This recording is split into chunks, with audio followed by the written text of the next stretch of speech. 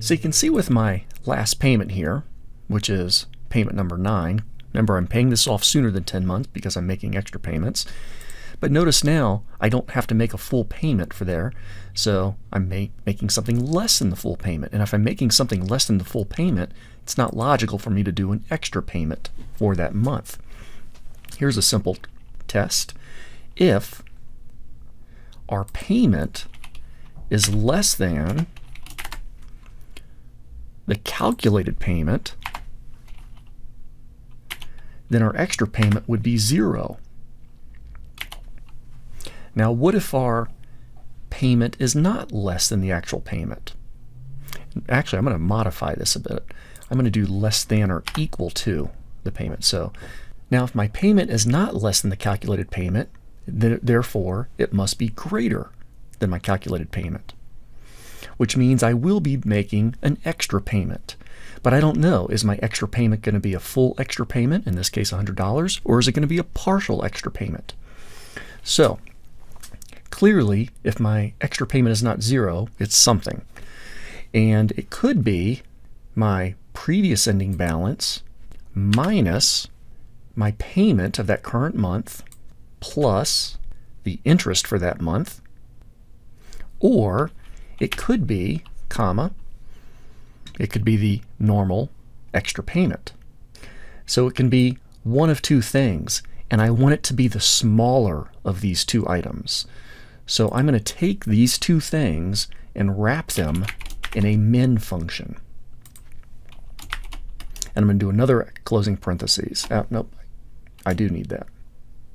It looks like I forgot to write in my if up here. So let's go ahead and take care of that. If opening parentheses. So let's see this. If payment is less than or equal to my calculated payment, then my extra payment is going to be zero. Otherwise, I'm going to take the smaller of two possible values. It's either going to be my extra payment, which is B7, since I'm referring to that, input, that needs to be absolute, or it could be my ending balance minus the payment plus the interest. I'm going to press my enter key there. We see that gets zeroed out. I'm going to autofill it down, click on the cell, autofill it up to the second row, and clearly that didn't work. So let me go ahead and modify this. I don't think I want my payment to be less than or equal to the calculated payment because it would often be equal to the calculated payment. So let me do just less than. And I'm going to click on this modification, autofill that down, and now it's starting to make a little bit more sense. Clearly in my last payment row, which happens to be payment number 9 in this example, I only have to make a partial payment, and then of course um, I don't want to make an extra payment in that scenario. So let's see if we can produce a situation where we have a partial extra payment. Let's see. So my current extra payment is 100 bucks. I'm going to do something like $500 extra payment. That didn't quite do it. How about 510? Here's a here we go. So now, because I'm making such a big extra payment, you'll see that I pay off the loan very, very fast in just five months.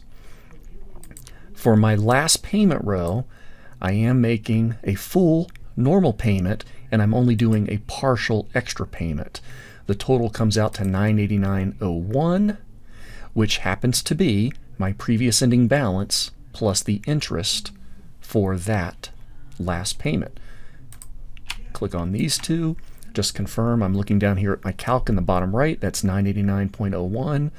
That pays off the loan and zeroes it out.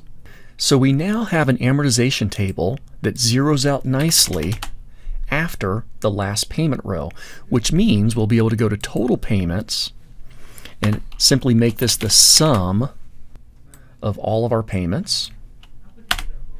And we'll be able to go to total, total interest paid and make that a sum of all of the interest amounts. And we'll start to have accurate information. If I change my loan to 6000 if I change my interest rate to 5%, the number of months to 20 and I'm going to do an extra payment of $450, we can see that this 20 month loan actually gets paid off in nine months. I'll make a total of 6113 in payments, and I'll have paid interest of $113, and everything gets zeroed out.